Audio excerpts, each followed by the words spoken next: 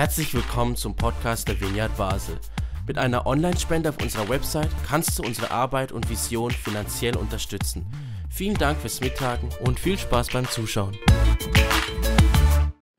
Ich habe den Auftrag bekommen, über etwas zu schwätzen, das in mir brennt, das mich beschäftigt, das ich toll finde. Und das Thema, das ich gewählt habe, klingt auf den ersten Moment vielleicht eher niederschmetternd. Und zwar glauben wir an einen Killergott. Das Thema beschäftigt mich schon recht lang. Ich bin christlich aufgewachsen, bin schon sehr früh christlich sozialisiert worden. Mein Papi ist Pastor und das hat mir einerseits mega geholfen, eine super Grundlage zu bekommen, wo ich jetzt auch im Theologiestudium wahnsinnig gut darauf zurückgreifen kann. Ich habe trotzdem irgendwann angefangen, und ich glaube, das ist mehr als gesund, ähm, Fragen stellen, gewisse Sachen zu hinterfragen. Und ein Problem beschäftigt mich bis heute. Und das ist einfach das Schreiben Alten Testament. Einerseits steckt es voller toller Geschichten, die auch mega mutigend sein können. Psalmen sind so schöne Lieder, wo vor allem David und Salomo geschrieben haben. Aber es gibt eben auch andere Stellen. Und mir ist aufgefallen, dass wir Christen angefangen haben, das Thema Altes Testament ein bisschen unter den Teppich kehren. Ich weiß nicht, ob ihr die Gideon-Bibel kennt. Die haben es einmal bei uns vor dem Pausenplatz verteilt, als ich noch in der Schule war. Dort drinnen ist das Neue Testament, die Sprüche und Psalmen. Alles andere fehlt. Es hat keine Gesetzbücher drin, es hat keine Propheten drin, es hat keinen König drin. Einfach all die, sagen wir mal, die kritischen Bücher, die verfänglichen Bücher, die fehlen. Oder auch so an Events, so grosse Evangelisationen oder auch sonst, hat man einmal so die kleinen Lukas-Evangelien verteilt, wo einfach nur das Lukas-Evangelium drin ist, so ein bisschen mit der Begründung, ja, das ist am unverfänglichsten, das verstehen Leute, die Jesus noch nicht kennen, am besten. Aber warum machen wir das eigentlich? Als Kind haben wir einmal am Abend, bevor wir ins Bett sind, so einen Abschluss gemacht miteinander, als ganze Familie. Das heißt, wir sind in ein Kinderzimmer, wir haben irgendeine Geschichte gehört, wir haben ein Lied gesungen, wir haben bettet und sind ins Bett. Ähm, so Kurzfassung. Die Geschichten sind nicht immer biblische Geschichten gewesen, wir haben auch anders gehört, aber oft sind es halt biblische Geschichten gewesen. Und ich habe daheim zum Beispiel nicht Harry Potter lesen, weil das zu brutal ist. Aber wir haben dafür Geschichten aus dem Alten Testament gehört, wo sehr viel Mord und Totschlag drin ist. Und die sind wirklich nicht harmlos. Und jetzt bin ich im Moment im Kinderland mit den Kindern damit konfrontiert. Wie gehe ich mit dem um, wenn ich alte Testament-Geschichten erzählen sollte? Wir hatten erst das Thema Noah. Gehabt. Grosse Arche, viele Tiere. Herzig bis dahin. Nur sind rundum Tiere und Menschen alle umgebracht worden, weil Gott bereut hat, dass er Menschen geschaffen hat. Wie bringe ich das jetzt dem Kind bei? Dass eben auch Tiere, die eigentlich absolut unschuldig sind, gestorben sind. Und wie soll ich das überhaupt erzählen? Wie soll ich die Botschaft überbringen? Was ist eigentlich die Botschaft von dem? Oder habe ich überhaupt selber verstanden, um was es geht? Und kann ich mich damit abfinden? Wir haben nicht nur eine Geschichte vom Noah gehört, wo alle sterben, sondern zum Beispiel auch die Geschichte von Mose, wo das Volk Israel aus Ägypten herausführt, nachdem es zehn Plagen gegeben hat. Bei der zehnten Plage sind alle Erstgeborenen gestorben. Außer die der Juden. Nachher sind sie aus dem Ägypten raus, weil der Pharao sie geschickt hat, endlich, weil auch sein erster Sohn gestorben ist. Und dann sind sie durchs Meer durch, wo sich teilt hat für sie. Und kaum sind alle Israeliten draussen und alle Ägypter drin, geht das Meer zusammen und alle vertrinken. Geschichte, die ich als Kind gehört habe. Oder der Josua, der an sieben Tagen um die Stadt Jericho läuft und am siebten Tag geht die ganze Stadt in sich zusammen, außer das eine Haus, wo Rahab und ihre Familie drin wohnt. Und die Israeliten hatten die Aufgabe, alle zu töten. Männer, Frauen, Kinder, Tiere. Niemand mehr dürfen überleben. Alle müssen sterben. Oder die Geschichte vom Salomo. Da hat es zwei Frauen gegeben. Die zwei Frauen haben ähm, je ein Kind geboren und von der einen Frau ist das Kind gestorben. Dann hat sie das tote Kind dieser Frau gegeben, die noch ein lebendiges Kind hatte und ihr lebendiges Kind weggenommen. am nächsten Morgen hat die Frau äh, mit dem toten Kind gedacht, hey, das ist nicht meins. Und das hat einen riesen Krach gegeben. Die sind von der Salomo. Und im Salomo seine Lösung war, ich halbiere das Kind, dann können beide eine Hälfte haben. So Geschichten stehen in der Bibel und so Geschichten, mit denen sind wir konfrontiert, einerseits als Kind, aber auch jetzt. Und wie erklären wir die? Und wir lesen die Geschichte und irgendwie sind sie schon verstörend. Und irgendwie, wenn wir uns wirklich damit auseinandersetzen, kommen uns ganz einen Haufen Fragen. Und Gott und Gewalt gehört im Alten Testament irgendwie ein bisschen zusammen. Aber es ist ja irgendwie auch immer ein bisschen lieb gemeint, weil seine, sein Volk wird ja verschont. Und Gott tötet oder je nachdem lässt töten. Und eben, es hat, es hat meistens irgendeinen guten Zweck und man kann es irgendwie erklären. Aber ist das der Kern von, von, von dem, was wir glauben, von dem Evangelium? Und ich möchte ein Beispiel mit euch anschauen und ein bisschen vertiefter anschauen, wo ich ähm, auch länger mit mir herumgetragen habe. Das ist der Abraham. Und ich möchte euch den Text gerade vorlesen. Der steht im 1. Mose 22. Für die, die mitlesen ich habe ihn dabei. Ihr dürft da lesen oder in eurer eigenen Bibel. Ich tue ihn euch vorlesen. Einige Zeit später stellte Gott Abraham auf die Probe. Abraham, rief Gott. Ich, hier bin ich, antwortete Abraham. Nimm deinen einzigen Sohn Isaac, den du so lieb hast, und geh mit ihm ins Land Moria. Dort werde ich dir einen Berg zeigen, auf dem du Isaac als Brandopfer für mich opfern sollst. Am nächsten Morgen stand Abraham früh auf, er sattelte seinen Esel und nahm seinen Sohn Isaac sowie zwei seiner Diener mit.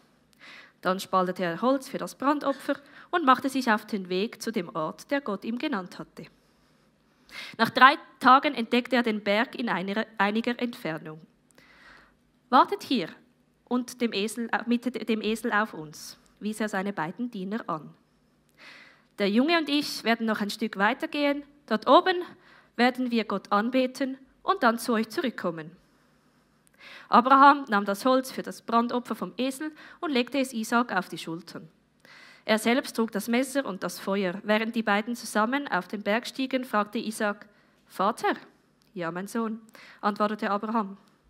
Wir haben Holz und Feuer, sagte der Junge. Aber wo ist das Lamm für das Opfer? Gott wird für das Lamm sorgen, mein Sohn, antwortete Abraham. So gingen sie zusammen weiter. Schließlich kamen sie an die Stelle, die Gott Abraham genannt hatte. Dort baute Abraham einen Altar an und schichtete das Holz darauf. Dann fesselte er seinen Sohn Isaac, legte ihn auf den Altar, oben auf das Holz. Abraham nahm das Messer, um seinen, seinen Sohn als Opfer für den Herrn zu töten. In diesem Augenblick rief der Engel des Herrn ihn vom Himmel: Abraham, Abraham! Ja, antwortete er, ich höre. Lass es sein, sagte der Engel. Tu dem Kind nichts. Denn jetzt weiß ich, dass du Ehrfurcht vor, dem Gott, vor Gott hast. Du hättest sogar deinen einzigen Sohn auf meinen Befehl hin geopfert. Da sah Abraham auf, entdeckte einen Schafbock, der sich mit den Hörnern in, seinem, in einem Busch verfangen hatte. Er holte den Schafbock und opferte ihn anstelle seines Sohnes als Brandopfer. Also nochmal.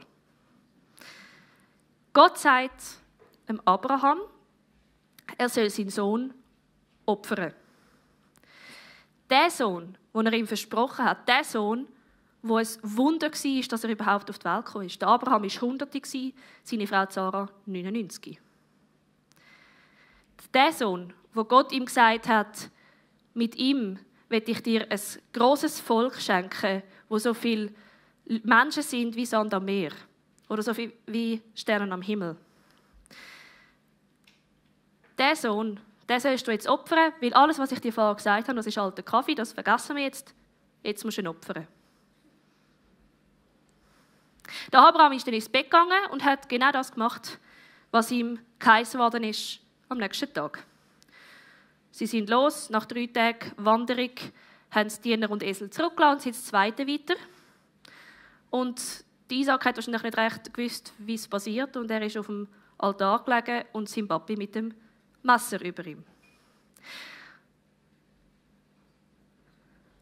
Mal ganz abgesehen vom psychischen Schaden, wo wahrscheinlich der Bub hat, was ist da ganz genau abgegangen?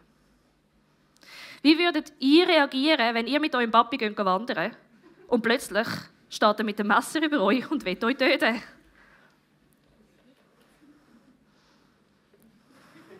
Vor allem dann noch mit der Begründung, Gott hat gesagt, ich soll das machen. Das Vertrauen in Vater wird doch komplett zerstört. Und wir reden gar nicht erst vom Bild, wo, der Bub jetzt über Gott hat. Aber genau das ist auch eines unserer Grundprobleme, wo wir als gute Christen haben. Wir überlegen uns dann gar nicht, was heißt jetzt das, sondern die Geschichte geht ja dann gut aus. Wir blenden so Text manchmal ein bisschen aus, weil wir auch Mühe haben, sie zu erklären. Vielleicht wenn wir einfach einmal den Text lesen, indem wir unseren Namen einsetzen, statt der vom Isaac. Und dass unser Papi der ist, der mit uns unterwegs war. Oder nochmal anders. Ihr als Eltern kämt die Aufgabe über und müsst euer Kind opfern. Ich weiß nicht, wer von euch bereit zu dem wäre. Ich wäre es nicht. Und ich glaube, erst wenn wir an den Punkt kommen und wir das auch auf, auf uns versuchen zu übertragen, kommen wir auf den Gedanken, was, was geht da eigentlich ab, was soll das, was hat Gott eigentlich da willen? Was will uns der Text sagen? Und ich glaube, die Haltung ist mega wichtig, dass wir uns können überhaupt überlegen können, was für eine Brille brauchen wir, um den Text zu lesen und welche Grundvoraussetzungen müssen wir haben, um diese Frage zu beantworten. Und wir als Gemeinde haben ähm, so Wert formuliert. Wir als Leitungsteam sind lang dran gesessen. Und einer von diesen Werten ist, dass Gott nie anders ist, als er sich in Jesus gezeigt hat. Und wir finden ähm, da auch Stellen der Bibel dazu. Das eine ist die Stelle, ähm, da fragen die Jünger Jesus, wo er ihnen ankündigt, dass er nicht mehr lange wird unter ihnen sein was machen wir denn ohne dich? Wieso gehst du zurück zum Vater? Wir haben doch keine Ahnung, wer der ist. Wir haben den noch nie gesehen, aber dich schon. Und dann sagt Jesus zu ihnen, wer mich gesehen hat, der hat den Vater gesehen. Oder der Paulus beschreibt es im Kolosserbrief, Christus ist das Bild des unsichtbaren Gottes. Wir sind der festen Überzeugung, dass wenn wir Jesus anschauen und sein Leben anschauen, dass er der ist, wo uns das Bild gibt, das wir von Gott haben können. Also ist unsere Aufgabe, wenn wir in der Bibel lesen,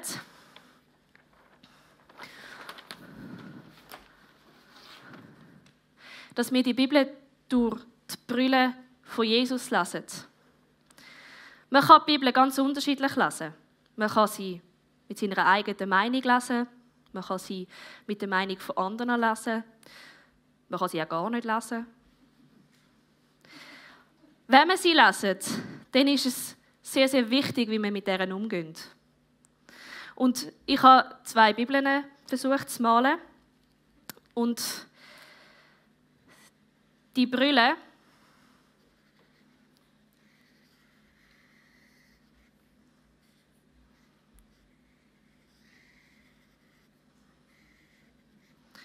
Die Brille, die soll immer Jesus heißen.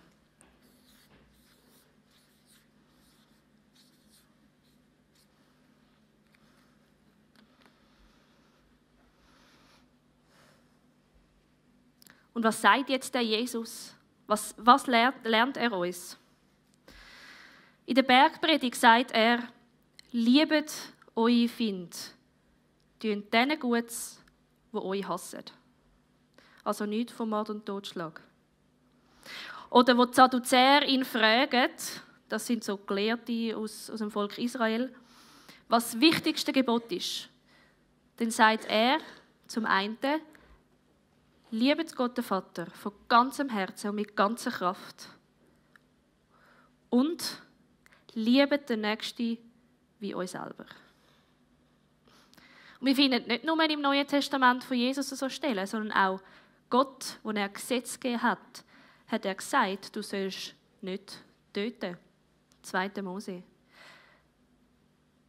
Wie geht jetzt das irgendwie zusammen mit dem Gott, wo wir lesen in der Bibel, wo befiehlt, man soll Leute umbringen, wo Leute sterben. Wo Abraham sagt, du dein Kind opfern, weil ich das von dir verlange. Wir tendieren sehr schnell dazu, dass wir einfach davon ausgehen, wenn Gott den Auftrag gibt, dass es dann völlig in Ordnung ist. Aber wie kann ein Gott, der so Liebe predigt in Jesus, Frieden und eben nicht Mord und Totschlag, wie kann der umbringen? Und töten ist eine Sünde. Aber Gott ruft zu, zu dem Töten auf, zu dem Sündigen auf.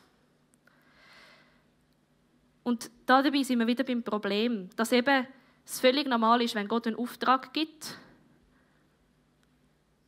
Und da das sind zum Beispiel Kreuzzüge nachher gerechtfertigt worden. Das ist ein sehr dunkles Kapitel in der Kirchengeschichte, ist relativ lang her. Der Martin hat vorher Deutschland angetönt. Zweiter Weltkrieg. Selbst der Hitler hat begründet, man muss alle Juden umbringen, wie sie Jesus umgebracht haben. Und auch heute, wo sind wir heute wieder in dieser Gefahr? Es gibt Leute, die rufen dazu auf, dass wir gegen die Moslems aufstehen müssen. Und fangen fast einen Religionskrieg an wegen dem. Wir hatten zwar vom Rechtsrutsch in unserer politischen Lage, das ist nicht nur in Deutschland so, das ist ja auch in der Schweiz und in ganz Europa so. Es sind immer wieder in unserem, in unserem Leben kommen wir an die Punkte, wo wir ähm, uns entscheiden müssen, wie das wir genau mit der, der Bibel umgehen und wie wir Sachen begründen. Wenn ich die Brille oder ja, die Brille aufsetze von, von Jesus und so an die Texte angehe, dann merke ich, dass der Text, seine Message ist nicht, bring deine Kinder um. Da muss irgendetwas anderes dahinter sein. Wir sehen am Beispiel von Abraham, dass es dort um Kindsopferung geht. Und wenn wir ein bisschen vorblättern in der Bibel, sagt Jesus im 3. Mose, es, äh, sagt Gott im 3. Mose, dass es explizit verboten ist, Kinder zu opfern. In der Antike war das gängige Praxis, dass man das gemacht hat. Der älteste Sohn musste durchs Feuer gehen. Das heißt, man hat den ältesten Sohn geopfert mit einem Brandopfer, um die Götter ähm, positiv stimmen sich selber, also seiner Familie gegenüber. Das sind vor allem die Götter Baal und Aschera, wo das ähm, in der Religion regelmäßig praktiziert worden ist. Und Gott hat genau diese Kindsopferung verhindert, weil er nicht möchte, dass man in seinem Namen tut Kind opfern oder dass man in seinem Namen tut töten. Ob er wirklich befohlen hat, dass der Abraham sein Kind soll opfern, ist für mich fragwürdig. Weil ich glaube nicht, dass Gott einfach uns so auf die Probe stellt. Das glaube ich nicht. Aber am Beispiel von Abraham, Abraham möchte ich euch ermutigen, beim Bibellesen eure Brille gut zu überdenken. Wie lesen wir die Bibel? Verstehen wir, was eigentlich die Aussage ist von dem Text? Lesen wir die Bibel einfach so als einzelne Geschichten, wo mal da stehen, oder lesen wir sie in einem grossen Zusammenhang?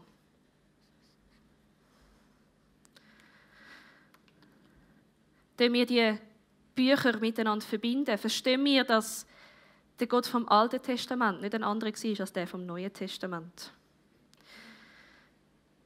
Die Geschichte von Abraham, von Noah und auch von vielen anderen, die soll uns zeigen, wie sich die Beziehung von Gott und Mensch entwickelt hat. Und die Geschichten sind von Menschen geschrieben. Die zeigen sehr viel auch von ihrer Sicht, wie sie Gott gesehen haben. Aber nicht Gott hat sich im Verlauf der Bibel verändert, sondern die Sicht, die wir Menschen auf ihn haben. Und die Beziehung hat sich entwickelt, wo wir Menschen zu Gott haben. Wenn wir die Bibel als Buch über, für, äh, von einer Entwicklung sehen, eben über die Beziehung von Mensch und Gott. Und wenn wir uns auch damit auseinandersetzen, was sind das für Leute gewesen, die, den Text geschrieben haben, kann man auch über Textgattung ähm, sich informieren, historischen Hintergrund. Eben Kindsopferung zu dieser Zeit ist einfach absolut normal gewesen. Erst dann sind wir wirklich in der Lage, auch können zu verstehen, was uns der Text will sagen, und wir müssen uns nicht mehr schämen dafür, was drin steht. Wir haben als Leitungsteam vor, glaube ich, etwa zwei Wochen einen neuen Wert definiert, weil wir gemerkt haben, dass der wahnsinnig zentral und sehr wichtig ist für uns.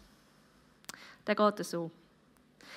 Wir nehmen die Bibel immer ernst, aber nicht wörtlich. Nicht immer wörtlich, sorry. Die Bibel erzählt die inspirierte Geschichte über die Entwicklung der Beziehung zwischen Gott und Mensch. Das heißt, die Bibel ist uns sehr wichtig. Wir nehmen sie sehr ernst und sie ist Gottes inspiriertes Wort. Aber wir nehmen sie nicht immer wörtlich. Wir hinterfragen, was der Text uns sagen will. Bei unserem Beispiel vom Abraham und dem Isaac kann man auf der einen Seite darauf schließen, dass Gott uns will testen und dass er alles von uns will und dass er erwartet, dass wir unsere Kinder, dass wir unseren Kindern ihr Leben opfern für ihn. Oder vielleicht geht es auch viel eher um die gängige Praxis von dort, wo Gott nicht einverstanden war mit ihr. Und ich bin überzeugt, dass Gott heute noch durch die Bibel schwätzt und dass sie heute noch höhere Relevanz hat. Sie ist aber ein altes Buch mit alten Schriften und es ist sehr, sehr wichtig, dass wir uns damit auseinandersetzen, wie das, das gemeint ist. Und das ist nicht einfach. Man hat als Christ nicht einfach automatisch die Fähigkeit, dass man das versteht. Und wir leben in dieser Spannung zwischen, es steht in der Bibel, aber es widerspricht irgendwie dem Bild, wo Jesus uns gegeben hat von Gott. Aber wir können ganz auf Jesus vertrauen und eigentlich unser ganzes Bibelwissen auf eine Stelle reduzieren. Lieb Gott von ganzem Herzen und mit ganzer Kraft. Und die Nächsten wie dich selber. Es existieren in der Bibel nicht zwei Götter. Es ist nicht der böse, blutrünstige Gott aus dem Alten Testament und der liebe Jesus aus dem Neuen Testament. Das ist ein Gott und er hat sich nicht verändert. Aber wir und unsere Beziehung zu Gott und unsere Sicht auf Gott hat sich verändert. Ich wünsche mir sehr für uns und unsere Zukunft, dass wir ähm, die Sicht auf die Bibel noch viel mehr kultivieren können. Gott ist nie anders, als er sich in Jesus gezeigt hat. Und der Martin ist für mich ein riesiges Vorbild, wenn es genau um so, so Stellen geht. Ähm, und er hat immer gesagt, dass die Bibel Gottes Absicht war aber nicht zwingend Gottes Ansicht. Und das entschärft sehr, sehr vieles. Und die Bibel ist wichtig und sie ist relevant. Aber sie gehört nicht zu der Viereinigkeit Gottes, sondern es ist nur eine Dreieinigkeit Gottes. Es ist Gott, Vater, Sohn und Heiliger Geist und nicht Gott, Vater, Sohn, Heiliger Geist und Bibel. Und ich wünsche mir, dass, dass wir die Bibel, die so voller Wahrheit ist und so voller ähm, Inspiration für uns Menschen, dass wir von der können und uns nicht dafür schämen dass wir in der Lage sind, ähm, sprachgewandter zu werden, dass wir nicht mehr sprachlos sind. Und wenn ihr jetzt die Bibel leset, dann ermutige ich euch, dass ihr euch bewusst die Brille von Jesus aufsetzt und euch immer überlegt, was hat Jesus gelehrt und wie hat er das gemeint.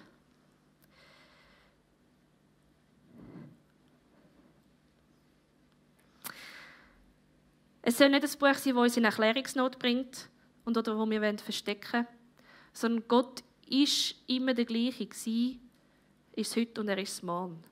Und er ist immer Liebe gewesen, er ist heute und er ist morgen. Falls ihr euch interessiert, noch mehr über das zu lesen oder euch noch zu vertiefen in das Thema, dann kann ich euch zwei Bücher empfehlen. Das eine ist jetzt gerade auf Deutsch rausgekommen. Das ist What is the Bible von Rob Bell. Und er tut eigentlich genau die Thematik sehr fest ähm, aufbringen, das ganze Buch über das geschrieben. Es lohnt sich sehr, das zu lesen. Und das andere, das geht ein bisschen in eine ähnliche Richtung. Das ist von Brian Zahn, das habe ich dabei. Das ist Sinners in the Hand of a Loving God.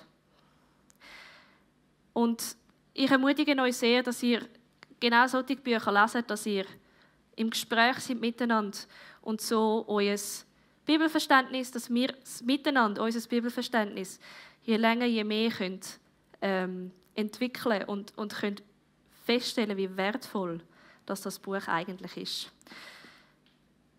Ich hoffe, ich kann euch ein bisschen ähm, lustig machen auf auch die schwierigen Texte im Alten Testament und freue mich natürlich, wenn ihr euch wieder mehr damit beschäftigen, wenn ich mich wieder mehr damit beschäftige. Ähm, mich hat es ein gepackt. Ich lese im Moment all die schwierigen Sachen und bin viel am Nachlesen, bin viel am herausfinden und hoffe wirklich sehr, dass uns allen das, das gelingt, ähm, da sprachfähiger zu werden. Band dürfte sonst führen kommen. Ich würde zum Abschluss noch beten. Jesus, danke vielmals, hast du mit der Bibel einfach ein Buch geschenkt, wo wir so viel über dich lernen können, wo wir so viel von dir sehen.